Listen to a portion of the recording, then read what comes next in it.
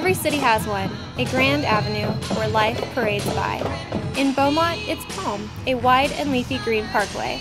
We walk, jog, bike, scooter, and cruise along this familiar thoroughfare daily. But few know the original plan for this famous street. In the early 20th century, our forefathers envisioned Palm Avenue with the whoosh and clang of shiny red streetcars filled with passengers. They dreamed of joining the Pacific Electric Railway, which blanketed Southern California as far east as the Inland Empire with more than 1,000 miles of track. In 1914, you could hop on a red car in downtown Los Angeles and head out to San Bernardino.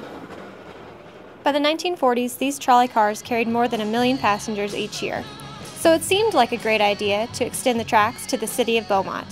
As fate would have it, that dream never became a reality. Bustling freeways and our love affair with automobiles ultimately doomed the beloved red cars, which finally shut down in 1961.